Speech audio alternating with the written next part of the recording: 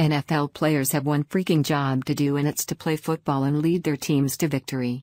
But for whatever reason, these oppressed millionaires think that we give a flying crap about their feelings about politics, where they're now hijacking our favorite pastime to broadcast their disgusting anti American sentiments on the football field. While the NFL does major damage control as their protesting athletes are turning fans away in droves with viewership now down by a startling 14 points, Team USA hockey coach John Tortorella has a brutal message for his athletes, as he takes these protests very personally, being that he's the father of a deployed soldier who's daily risking his life to defend our country's freedom. Movie stars and athletes have one job to do and it's to provide entertainment for Americans. After working 40 plus hours during the week and battling the stress of traffic, angry bosses, and all the other stresses of family life and crap to do around the house, most Americans use sports and movies as a way to unwind and put all the BS out of their minds. But now we can't even turn on a Netflix show or tune into an NFL game without being bombarded by some whiny liberals' nasty sentiments about our president or about our police officers, as the cancer of liberalism continues to creep into every facet of our daily lives. The NFL is learning the hard way that they need to keep politics out of the game after a rough couple of weeks have spelled disaster. Not only are their ratings plummeting to double digits, but over the weekend nearly empty stadiums served as an ominous warning of things to come if they don't quickly get these protests under control.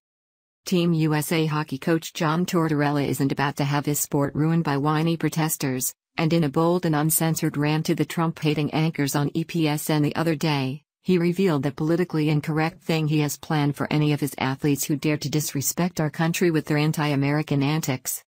Tortorella, whose son is an Army Ranger and currently deployed with the 75th Ranger Regiment, has zero tolerance for idiots who disrespect our soldiers and our nation's flag, and takes protests by athletes like Colin Kaepernick as a personal insult.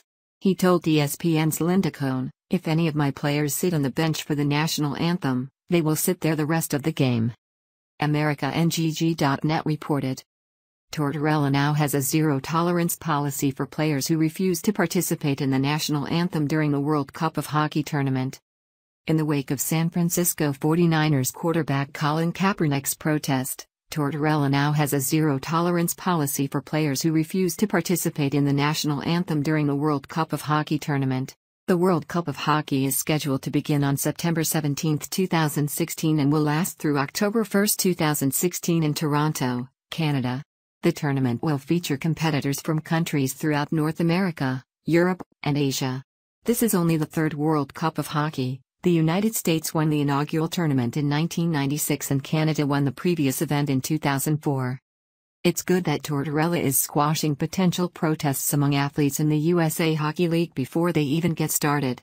If NFL Commissioner Roger Goodell cared at all about the red blooded Americans who comprise the majority of the NFL fan base, he would have squashed those protests months ago. But instead, he's turned his back on the outraged fans, saying that fans need to be more understanding of the protests, where he is now siding with black players who are raising raising black power salutes every time they sack a white player on the field, a disgusting racist symbol that black supremacists have used for decades to display their supremacy over the white race. During the second quarter of the game against the 49ers over the weekend, Seahawks defensive end Michael Bennett celebrated attacking white quarterback Brian Hoyer by flashing the black power fist into the air. This gesture was a head nod to black supremacists around the country, where the all black media confirmed Bennett's actions were a pro black power gesture in the following tweet. Every time a protesting athlete takes a knee or sits on their ungrateful behinds while our colors are raised, it's a direct slap in the face to every American who have fought, bled, and died for this country. If the NFL wants to continue to side with these protesters and insult our soldiers and our police officers, we can counter with our own version of protests, and continue to make their ratings tank with our refusal to tune into their disgusting anti American games.